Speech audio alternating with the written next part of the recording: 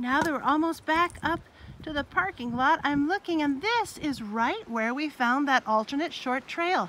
We went right to the beach.